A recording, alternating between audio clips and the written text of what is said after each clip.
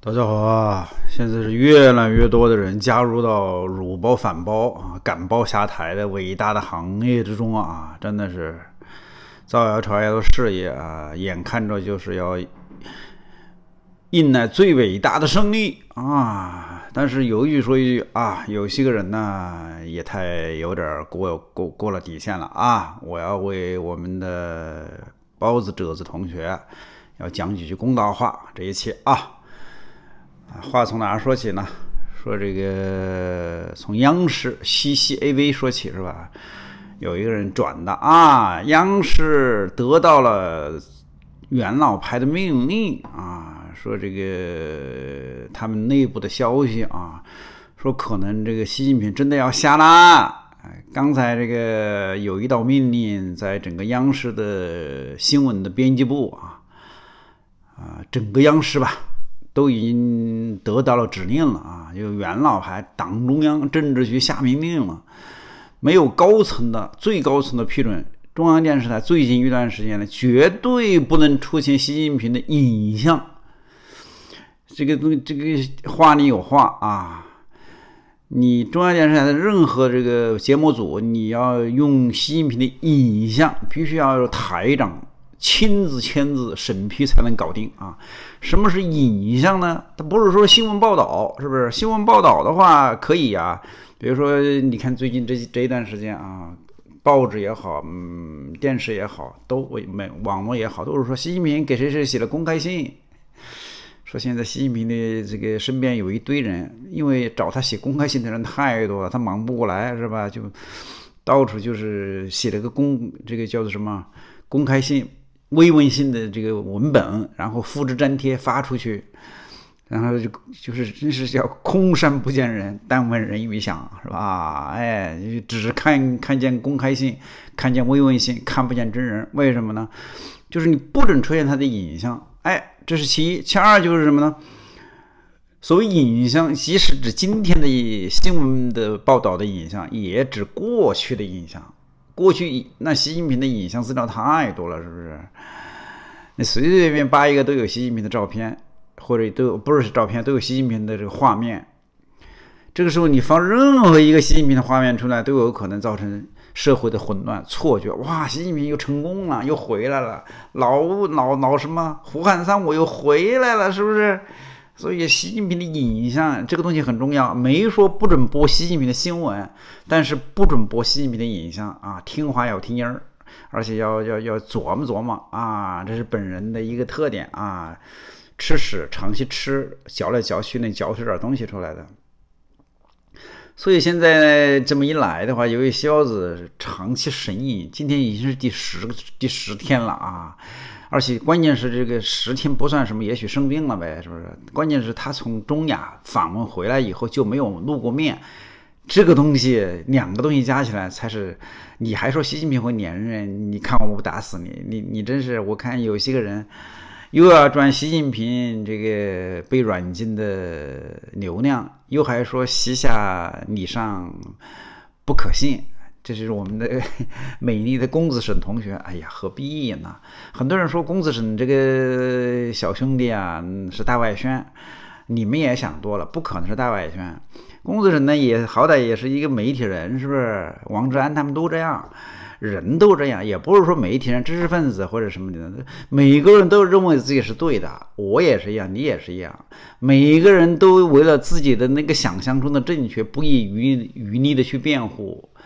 啊，不愿意放弃的，就像我这种在自己的节目里面把自己黑的不像话的，过去的、现在的、将来的烂事儿我都敢说的人，就我就我这么一款，那为什么呢？因你别看我一天到晚嘻嘻哈哈的呀，没正没个正形啊，这是忏悔录的传统，我是只身进入忏悔忏悔录的传传统，就像奥古斯丁嘛，他年纪大了以后他就写忏悔录，是不是？你说他自己写的，说自己跟多少个女人睡觉，是不是？完了以后把人家女人的这个肚子搞大了，还生了孩子，不仅生一个，还两个。然后后来又不要别人了，那就有两个私生子呗。而且后来两个私生子还不成气候。然后他把这些个东西都写出来。你说你那个年代的人啊，奥古斯丁大概相当于中国的汉朝吧，是吧？东汉年代吧，就这个样子啊。你或者说魏晋南三国时代吧，三国时代就这个样子。你说，你说那个时候的人把自己那些个糗事把它写出来是什么意思呢？你说那个时候的男人，你别说是私生子，中国那个时候男人有钱的、有有地位的，养养一千个老婆也没问题了。这是一种忏悔录的传统。我是嘻嘻哈哈，我是愿意把自己的这些个见不得人的事情都都都都给它摆出来，知道吧？但是你如果没有一个很好的圣经训练，你甚至都干脆都不相信上帝存在的话，你哪有这个传统呢？你进不去呀，你想进去也不行啊。所以他们这些人呢？也其实很简单，就是不愿意承认自己的错误，是不是？所以昨天我看公子神的这个一期节目，还点击率挺高的，有好一二十万呢。又说习近平被软禁了，又说中共发生政变了，又说沈阳有兵变，完了以后最后还来一句话：所谓的西下礼上并不可信，你几个意思呢？没意思，我告诉你，就是人他不愿意承认自己的错误。其实这是个很小的错误，哎，承认真的错误就错了，有什么关系呢？是不是？你不照样赚流量吗？你不照样收广告费吗？诚实点嘛，小兄弟，是不是？哎，所以呢，有些事情很有意思的啊。但是我这期呢，我特别在跟大家讲什么呢？就是一方面呢是央视这边呢不准出现西包子的影像，另外一方面呢，关于西包子说话的那个那个那个段子啊，他平时怎么说话的呢？我们此前我们只知道说西包子这个人最喜欢说一句话：“你懂什么？”是吧？他特别喜欢说这句话，这是北京四九城的人都知道的一个段子啊！你懂什么？就是就这种话。还有就是说，为什么我我们的中国人民这么的拥戴我呢？是不是？就说这句话，这句话很好啊，四个自信呢，五个自信呢，是不是？看不起人呐，那能人家做官做到那个程度。那当然有资格看不起人呗，但是没想到这两天出了好多个段子，有的人是说是恶搞，有的人说是真的，反正真真假假我们不知道，我们不是这个考古学家啊，我们不需要去关注它的真假，我们只关注它是不是好玩儿，是不是可爱，是不是笑不动，是不是笑的岔气儿，岔气儿是不是？这个我跟大家分享一遍啊。有些个话呢，还不能够直接念出来，因为念出来太粗鄙了，太骂人了，知道吧？我要稍微这个和谐一下啊。说这个在一次会议上，李克强老师就经济发展的趋势做出发言，没想到他刚说出本季度 GDP，细包子就举起这个茶杯向李克强砸了过去，而且一边砸一边大骂：“你妈了个叉！”嗯，不是差啊，大家脑补一下啊！你妈了个差！中国人就说中国的话，国内生产总值啊，然后又来那个你妈的差，很有意思吧？他他说平时说话就这么说话的啊。这个有一句说一句啊，我为什么觉得这些话有可能是真的呢？因为北京的糙老爷们就这么说话的。他在不装的情况下，他在全爆棚的情况下，他在没有人能够制衡他的情况下，他就可以随便的激扬文字。是不是挥斥 方遒？他就敢这么干，就像以前，就像那个蒋介石，他动不动就两下啪，是不是？是吧？毛泽东说话就更难听，知道吧？他全是那那口韶山话，那难听死了，是吧？全是脏话。你说这这这他不都这样吗？是吧？哎，说说说这个骂完了以后呢，李克强觉得下不了台，知道吧？然后二十大的人事啊，就开始重新调整，说你也太不尊重我们的总理了吧？说还有这个习近平的心腹啊，身边的人决定就离开习近平，离开中办提前退休。说你怎么这么不尊重人呢？你都你李克强你都可以这样骂他，你我们这些人算什么东西啊？是不是？还有啊，继续说某位老干部爆料啊，说习的习包子的精神状态从来没有稳定过，动不动就骂人。啊，说这个上位之前呢，有一年他遇到了李长春，他就说：“你好啊，李长春，我喜欢跟长春人在一起开会啊，因为你们长春的确比这个安徽人强啊。你看那个李克强，那个是那个那个二百五的安徽人啊，没素质，真的不是我夸你们长春人啊，是是李克强的安徽人太烂了。”但是李李李长春呢，就看着他看西包子说话就很无语啊。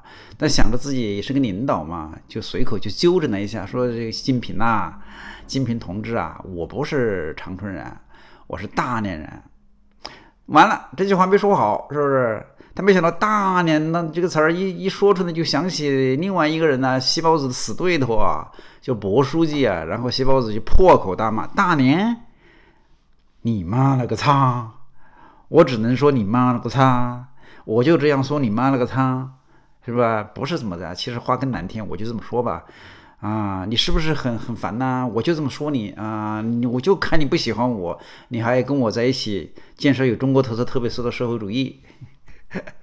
说真，但是李长春拿他没办法，因为大家都知道你习近平是要接班的嘛，是不是？你你他接总书记嘛，李克强接总理嘛，所以李长春当时一下子就病了，气死了都，说在三零幺医院休养了半年，对习近平失望透顶。